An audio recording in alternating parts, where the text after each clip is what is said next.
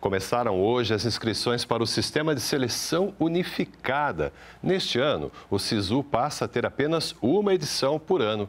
A seleção vai ofertar 264 mil vagas, distribuídas em 127 instituições públicas de educação superior.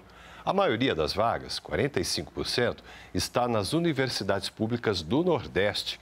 Em seguida, aparecem as regiões Sudeste, Sul, Centro-Oeste e Norte.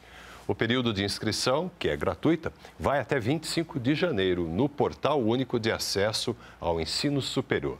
Podem se inscrever todos que fizeram a última edição do Exame Nacional do Ensino Médio, o Enem. E o SISU reúne as vagas ofertadas pelas instituições públicas de ensino superior brasileiras que participam do processo. A maior parte dessa oferta é em instituições federais.